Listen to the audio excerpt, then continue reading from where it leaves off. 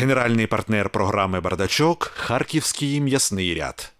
Здравствуйте, уважаемые телезрители! Вы смотрите очередной выпуск программы для автомобилистов «Бардачок». И на ваших экранах снова я, Александр Трепетин. Перемены в дорожном движении происходят постоянно. Вот только мало кто из водителей их своевременно замечает.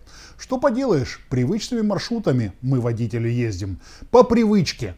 Мало обращая внимания на знаки. А зря. Внезапное изменение к лучшему на минувшей неделе случилось на пересечении площадей Павловской Конституции с Армянским переулком.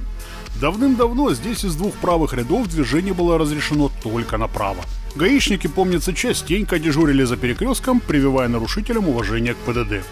Видимо, привили хорошо, потому что знаки поменялись, а народ все так же опасается занимать второй ряд для проезда прямо. Теперь можно не напрягаться. С недавних пор движение по второму ряду разрешено не только направо на площадь Конституции, но и прямо на Павловскую площадь. Всего один знак поменялся, но проезд перекрестка существенно ускорился. Вот только пользуются изменениями лишь самые внимательные из автомобилистов. Остальные все так же дисциплинированно выстраиваются перед перекрестком, тщательно избегая второго ряда. Забавно смотрится.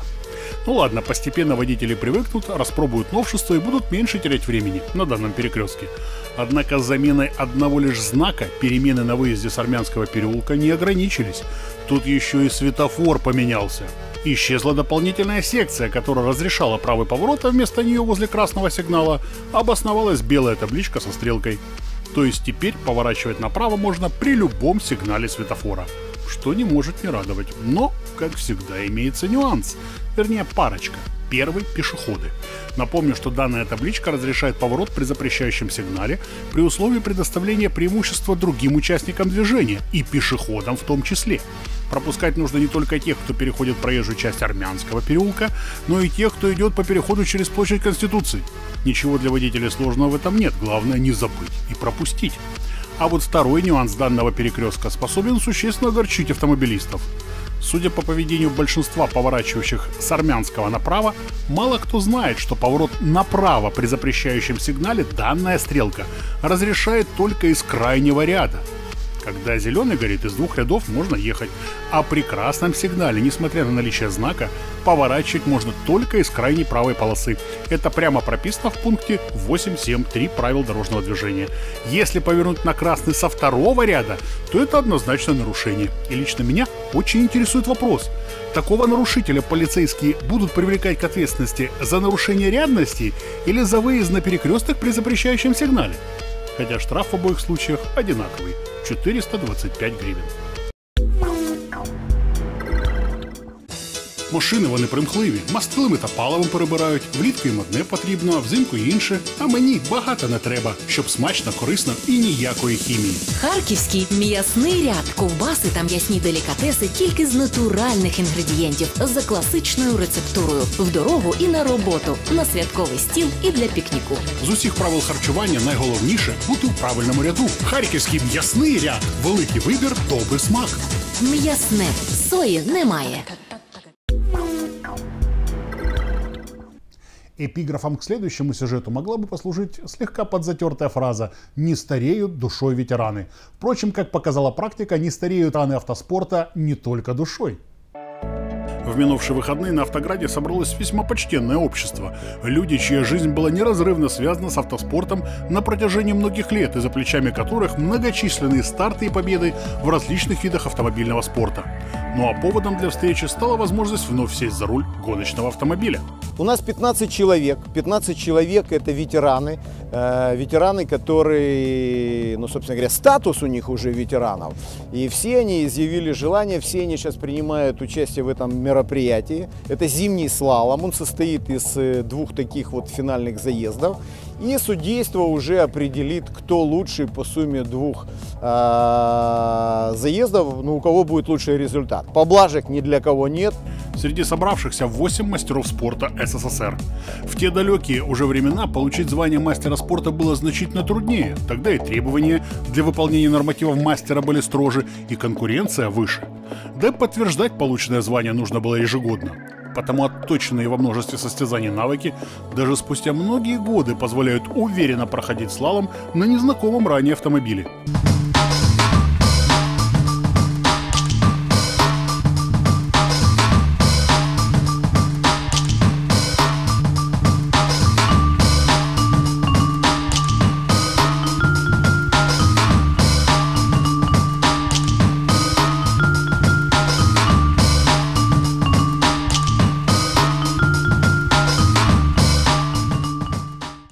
Самый старший из участников, Анатолий Кулинич, свою спортивную карьеру начал в 1956 году, а завершил в 1987.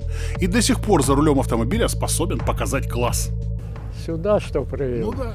Ну, любовь к спорту, так, ностальгия по спорту. Без этого как-то трудно жить, без спорта. Трасса для ветеранской покатушки довольно простая, главное здесь не победа, а участие. Но соревновались всерьез. Все как положено, регламент, судейство, стартовая ведомость, хронометрия, два зачетных заезда, даже группа поддержки. А в перерывах между заездами вспоминали былое. Это вибрация, там трасса такая, знаешь, от этой вибрации пирог остался Давай лучше я расскажу. А в Киеве, а в Киеве, Я а тогда Киеве, раз а в Киеве, когда ты, было. когда ты вышел без носа, а, то, то этот самый. было всего. Истории, которые довелось услышать, если их перенести на экран, сделают честь любому боевику. Однако помимо общения и соревнования, был у нынешней ветеранской встречи еще один повод – привлечь внимание к необходимости строго выполнять правила дорожного движения и простые, но важные требования безопасности. Мы понимаем, что происходит сейчас на дорогах. Мы понимаем, э, какие проблемы у нас э, вот с безопасностью на дороге. Потому что каждый день сталкиваешься с такими ситуациями, когда едешь и смотришь, вот чего народ творит. Мы э, хотим привлечь внимание общественности э, к тому, чтобы, ну вот, правила дорожного движения, они максимально простые. Вот все, что тут не написано, оно имеет, оно имеет право на жизнь. И все эти правила, они создавались для нас же. Если мы начнем вот выполнять все эти правила дорожного движения, то на дороге ты действительно будешь ездить и получать от этого удовольствие, а не напрягаться. После награждения победителей и участников инициаторы встречи поделились собравшимися собственными планами на будущее. Есть желание превратить такие ветеранские встречи из чисто харьковских во всеукраинские, да еще и соревнования провести в формате зимних трековых гонок. Надеюсь, планы осуществятся, и мы через год увидим гонки звезд украинского автоспорта. Очередной страшно ужасный слух взбудоражил автомобильную общественность. Дескать, проверки полицейскими водителей на трезвость с помощью прибора Драгер незаконны, ибо сам прибор не может применяться в Украине. Срок сертификации давно истек. Поводом для появления таких слухов стала публикация в соцсети бывшего сотрудника главного департамента ГАИ Украины Геннадия Гребнева. Он сообщил, что срок сертификации алкотестеров Драгер Алкотест 6810 истек 10 февраля 2015 года и не был продлен. А в доказательство этого привел ответ заместителя министра здравоохранения Александра Линчевского на запрос адвоката Мороза. В документе сообщается, что в Государственном реестре медицинской техники и изделий медицинского назначения информация о Драгер Алкотест 6810 отсутствует, и никаких данных от уполномоченных органов оценки соответствия в Государственную службу Украины по лекарственным средствам не поступало. Таким образом, все проверки на алкоголь сотрудники полиции могут быть якобы легко протестованы, так как для этих проверок используется несертифицированное оборудование. Национальная полиция отреагировала на данную информацию оперативно.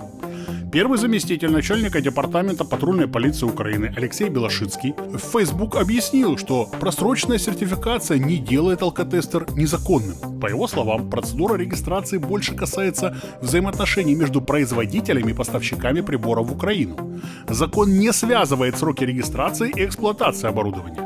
Что касается отсутствия Драгер Алкотест 6810 в реестре медицинской техники и изделий медицинского назначения, то Александр Белошицкий подчеркнул, что введение этого реестра отменено постановлением Кабмина номер 1497. Окончание срока регистрации не влияет на технику, которая уже используется. Об этом идет речь в письме Украинского медицинского центра сертификации Министерства здравоохранения от 18 января 2018 года. Алкотестеры Драгер 6810, введенные в эксплуатацию с 10 февраля 2010 года по 10 февраля 2015 года во время действия сертификации, могут использоваться при условии соблюдения условий калибровки.